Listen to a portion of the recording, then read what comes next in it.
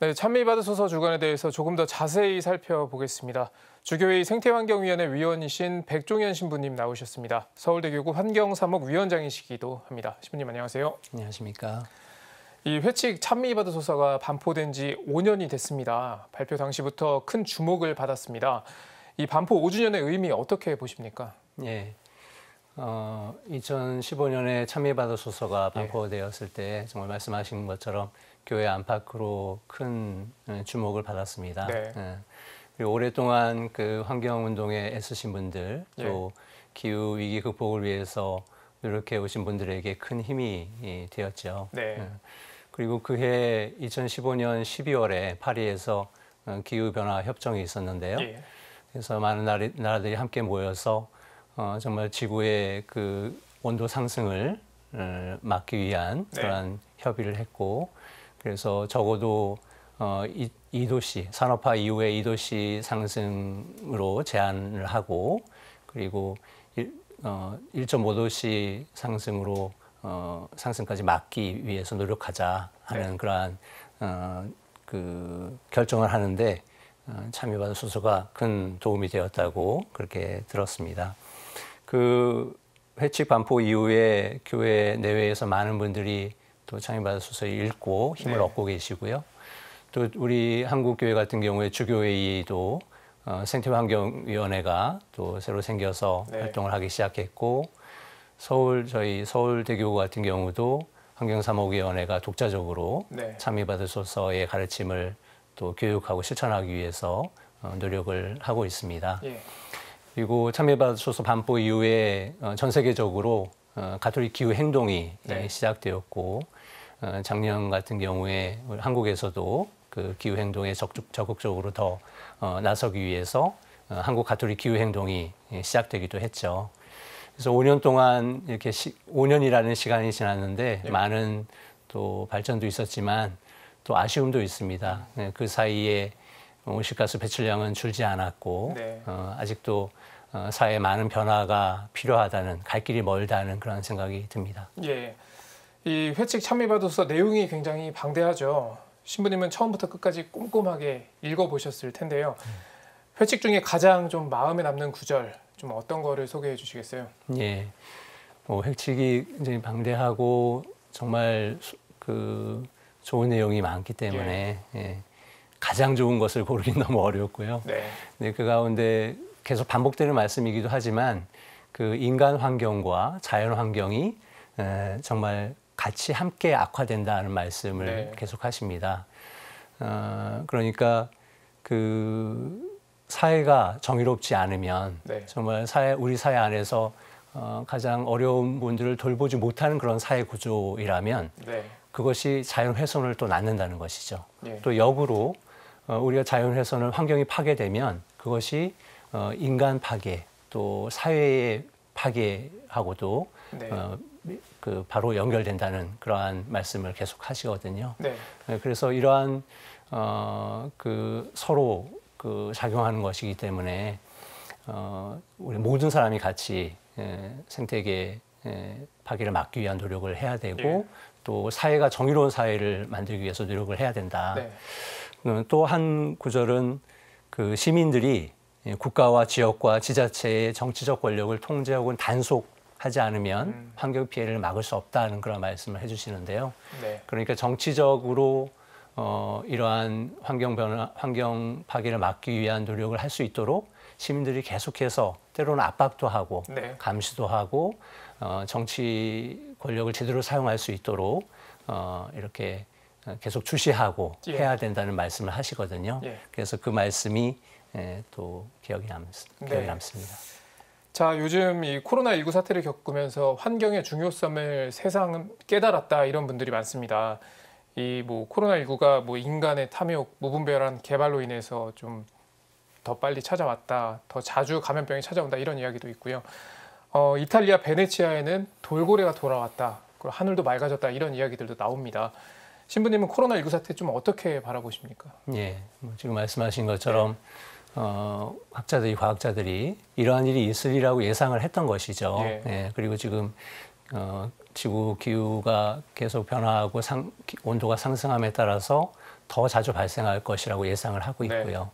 그래서 지금 우리가 사회적 거리두기를 하고 있기 때문에 하늘도 맑아지고 또 도시에 동물들도 찾아오고 하고 있지만 우리의 이 사회 구조를 바꿔 나가지 않으면 우리가 소비하고 생산하고 소비하고 버리는 이 구조를 바꾸지 않으면 어, 맑은 하늘을 보기 어려워질 거거든요. 그리고 피조물들, 다른 동식물들은 점점 더 멸종될 것이고요. 네. 그래서 어, 정말 어, 이와 같은 사태가 반복되지 않기 위해서는 예. 우리가 어, 우리 자신을 파괴하는 것과 같은 이러한 생태계의 무분별한 훼손을 막기 위해서 더 노력을 해야 되겠다 하는 생각이 들고요. 더 노력을 해야 되겠다. 또 한 가지는 뭐 많은 분들이 또 말씀을 하고 계시지만 어, 정말 중요한 것이 무엇인가 우리 살아가는 데 있어서 어, 이렇게 사회적 거리두기를 하, 고 보니까 정말 우리가 많은 것을 하지 않아도 예. 많은 활동을 하지 않아도 서로 돌보고 서로 아껴주고 만나고 함께 있는 것 자체가 얼마나 소중한가. 예. 어, 그래서 많은 것을 소유하거나 많은 일을 하지 않더라도 우리가 삶의 의미를 찾을 수 있고 행복할 수 있다. 어, 그 방향으로 나아갈 때 예, 우리 인간 사회도 정말 어, 의미 있고 행복한 사회로 만들 수 있고 또 우리 지구도 돌볼 수 있다 하는 네. 그런 생각을 갖게 하는 그런 시기가 아닌가 생각합니다. 네. 어, 최근 한국 천주교 주교단이 성명서를 통해 정부의 이제 기후 위기 비상 사태 선포를 촉구했습니다. 이 기후위기 비상사태를 선포해야 하는 이유 좀 어떻게 설명을 해주시겠어요? 예. 앞에서도 그 참여받으소서에서 어, 교황님께서 그 정치 권력에 대한 어떤 예. 통제나 단속이 시민사회의 단속이라든가 압박이 필요하다고 말씀드렸는데 네. 그런 차원에서 또 종교가 할 일을 하는 것이죠. 어, 그런데 우리나라에 뭐 많이 노력을 하고 있겠지만 정부의 기후 위기에 관한 그 대응이 너무나 미흡하다고 네. 보고 있는 것입니다. 그리고 정부가 해야 될 일을 더 해야 되고 또 어, 우리 또 기업들도 네. 어, 노력을 하겠지만 더 어, 시급하게 예, 또 빨리 변화해야 되겠다는 그러한 어, 그 시급함을 어, 나타내는 그런 성명서라고 어, 보여지고요. 예. 그래서 어, 온실가스 배출량을 줄이는 것이 굉장히 지금 시급한데 어, 아까도 뭐 파리 기후 협정에서 1.5도까지 줄이는데 노력하겠다 그랬는데 사실은 지금 0.4도, 0.5도 더 올라가면은 그 제한선에 되는 것이거든요. 네.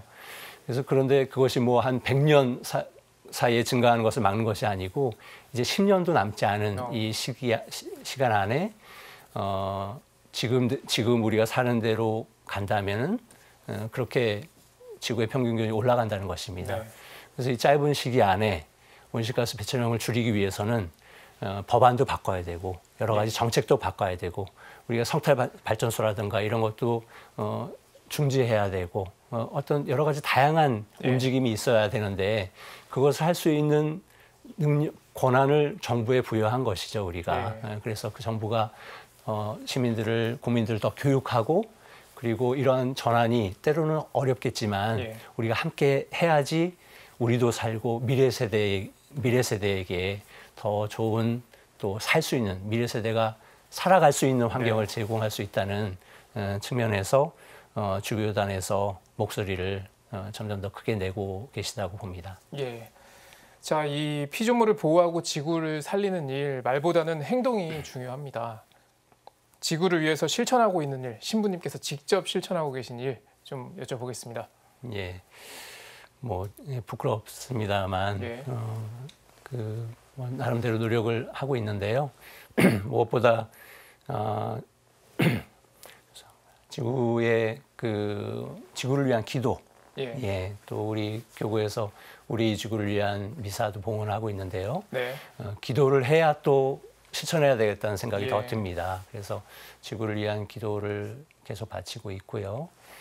그리고 온실가스 배출량을 줄이는 개인적인 일들을 해야 되기 때문에 네. 에, 대중교통을 되도록이면 어, 대중교통을 이용해서 어, 다니고 또 육식이 육식이 우리가 굉장히 육식을 많이 하고 있는데 전 세계적으로 어, 지금 육식을 통해 육식을 하기 위해서 예. 우리가 스- 그 온실가스 배출을 배출을 굉장히 많이 하고 있습니다. 그래서 육식을 줄이는 일, 어, 되도록이면은 멀리 여행 가지 않고 네. 어, 되도록이면은 어, 그 비행기 타는 일을 좀 줄이고 예. 그래서 전체적으로 이 화석 연료 어, 사용을 줄이는 노력을 나름대로는 노력을 하고 있고요. 어, 이러한 개인적인 노력 외에도 계속 말씀드리지만 어, 정부와 또 기업과 이런 변화를 촉구하기 위한 환경 단체들의 그런 운동에 연대하기 위해서 또 노력하고 있습니다. 예. 자, 이 토요일부터 시작되는 찬미 받으소서 주간 전 세계에서 이 함께하는 글로벌 캠페인이죠. 많은 사람이 좀 참여를 해야지 그 의미가 더 클 것 같습니다. 끝으로 신자와 우리 국민에게 한 말씀 해주신다면요. 예. 어, 프란치스코 교황님 이 찬미받으소서 주간 초대하시면서 예. 영상에도 나왔지만 그 말씀 다시 한번 드리고 싶습니다. 네. 우리 후손들에게 자라나는 어린이들에게 어떤 세상을 물려주고 싶습니까? 예. 아, 정말 어린이들 또 우리 청년들 미래 세대만 생각하면 너무나 미안하거든요. 네. 어, 근데 그들이 또 지금 또 움직이고 있죠. 기후 변화를 네. 막기 위해서. 그래서 지구의 한 구성원으로 살고 있는 우리가 정말 어, 이 지구가 병들면 인간 사이가 병드는, 병드는 것이 너무나 당연하기 때문에 네. 에, 정말 이 울부짖고 있는 지구 또 울부짖고 있는 가난한 이들을 돌보는데 우리가 좀 더 힘을 써야 되겠고요. 예. 그렇게 힘을 써오신 분들은 좀 더더 힘을 써주셨으면 좋겠고 네. 예, 그리고 힘을 쓰시, 그리고 노력하실 때 기쁘게 해주셨으면 좋겠어요. 네. 또 기쁘게 해야 또 다 또 많은 분들이 함께 하실 수 있기 때문에 예.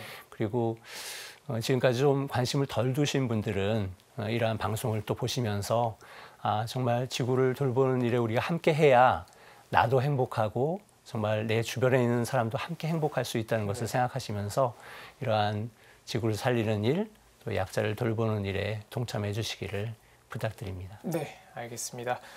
네, 지금까지 주교회의 생태환경위원회 위원이자 서울대교구 환경사무위원장 백종현 신부님과 이야기 나눠봤습니다. 신부님 오늘 말씀 고맙습니다. 고맙습니다.